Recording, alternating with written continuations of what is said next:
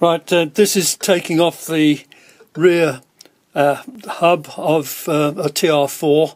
Uh, the extension, I've, uh, I've uh, got it partially disassembled to speed everything up, but obviously this comes off the extension with the spline. Then the um, drum, the problem that I've had with the hub is that the studs, the, very slight movement on the studs, and that you know they're pinned from the back, uh, and once they're loose, it's difficult to tighten them up. Uh, uh, so I'm taking it off. Um, obviously, the uh, this nut split pin out, and the uh, let's get the big spanner right, and this uh, that happens to be a 32 millimeter that takes it. That I've got this one. So the castellated nut off with the split pin out, obviously, and uh, you've got your heavy washer on there, and that leaves it exposed now to put the puller onto it. Um, I've got a three-legged puller.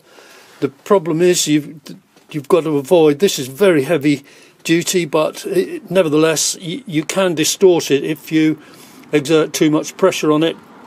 And it's a combination of pulling and some shock.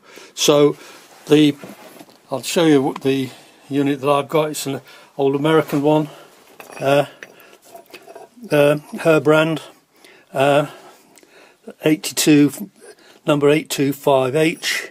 It's H for the heavy, uh, and as you can see from the ends, you, you, you, once you've got the tension, you whack it with a hammer, get some tension on it, and I'll what I'll do now, I'll mount it on there and um, show you drawing the the hub off.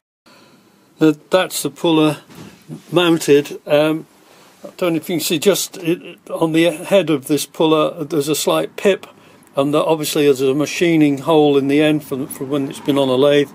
Um, get that central on there. You don't want to um, damage the the thread on the end of the shaft, but make sure that these legs are dead in line, so that you've got a, a really straight pull.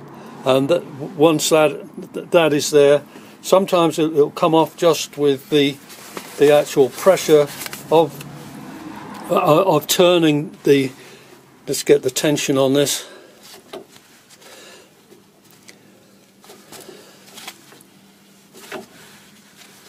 That's starting to pull.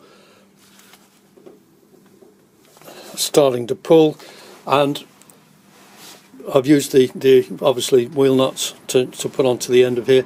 That is ready to go now and just by impacting the ends of this. I'll, I'll start that and show you.